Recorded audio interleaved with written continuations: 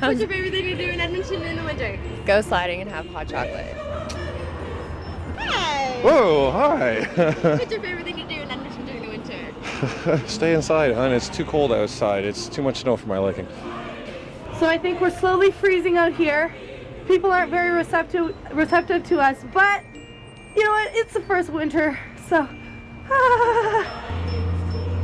Oh my god. Um. I've only lived here for like a month, so Hello.